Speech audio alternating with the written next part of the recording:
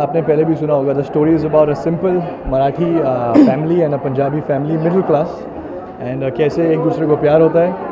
And unconventional it's not कि मार धाड़ करके इनको जाके बचा रहा हूँ कि आज आज छोड़ूँगा नहीं, ऐसा कुछ नहीं है।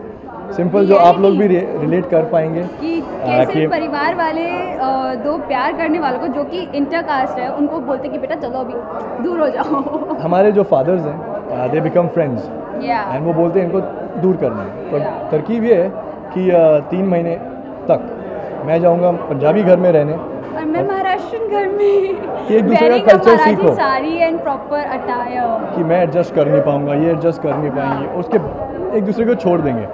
फिर जो क्या होता है आगे वो आपको देखना पड़ेगा। थर्टी अक्टूबर को।